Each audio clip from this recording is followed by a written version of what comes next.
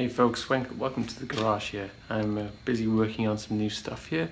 Uh, this is the new um, digital power supply distribution board that we've developed here at Expat Audio. It's real simple really. What we've taken is a, uh, a off, off power supply that gives you mains input down to 5 volt.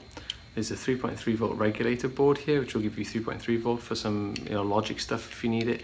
And then we've actually got a, a bunch of these uh, little distribution boards here you can see at the bottom. These are very, very simple uh, bus boards, if you will, that allow you to distribute, you know, ground and then two, two rails. So they could be plus minus 15 volt, they could be plus 5 volt and plus 3.3 volt, but it just allows you then to use simple jumper cables, jumper cables then to distribute it around your system.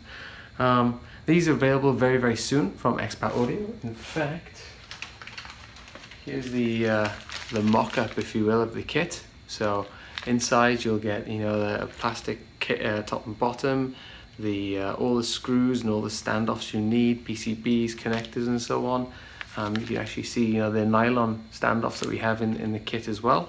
Uh, and they can be it can be dropped into your system safely and carefully.